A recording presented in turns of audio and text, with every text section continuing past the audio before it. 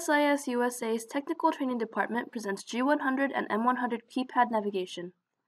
In this video, we will demonstrate how to navigate the G100 and M100 keypads. This includes navigating the parameter groups, changing parameters, changing a local speed reference, and checking basic monitors. These instructions will be helpful for anyone who works with the LS G100 or M100 drives. At first power up, the display will show to the commanded speed reference. If your drive is factory default, this should be 0.00, which means that the set speed is at 0 Hz. Before we move on, if you have an M100 drive, it is important to note that only 18 parameters in the first group are accessible from factory default. To be able to unlock other parameters, go to OGR, press enter, set at 1, and press enter twice.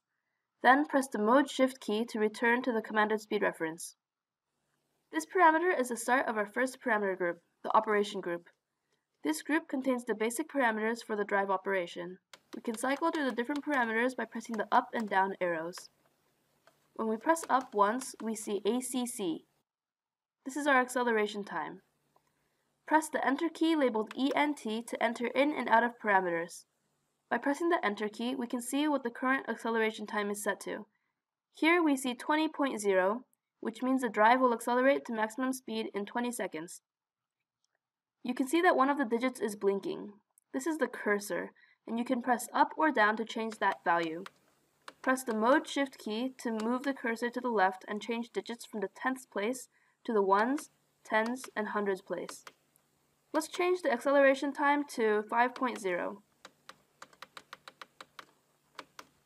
Now that we have changed our acceleration time, press the Enter key twice to save the change. Then the display should be back at ACC. Make sure that you press the enter button twice or the change will not take place. When we press up again, we can see DEC, the deceleration time, DRV, the command source, FRQ, the frequency reference source, and other commonly adjusted parameters. To go back to the commanded frequency reference, you can press up or down, or you can simply press the mode shift key. This key is also used to display the various parameter groups. In addition to the operation group, there is also drive, basic, advanced, and other groups.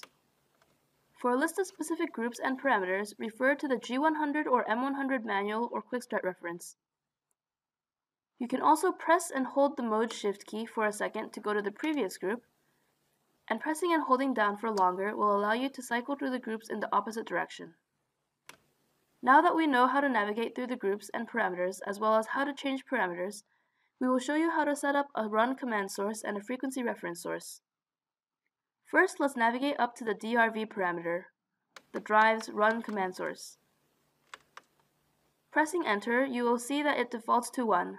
This is FXRX1, meaning the forward run command. FX comes from P1 and reverse uses P2 by default. We will leave this at 1, so press the enter key again.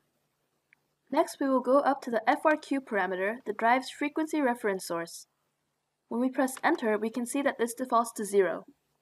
This means that the drive will look to the keypad for its speed control. Let's change this to a 2. Setting 2 makes the drive look at terminal V1, which is a 0 to 10 volt DC analog input. On our demo here, we have a speed pot wired up. Press enter two times to save. Now go back to your main display by pressing Mode Shift. Your speed is now controlled by the speed pot. If we close our switch wired up to terminal P1, the drive will run forward.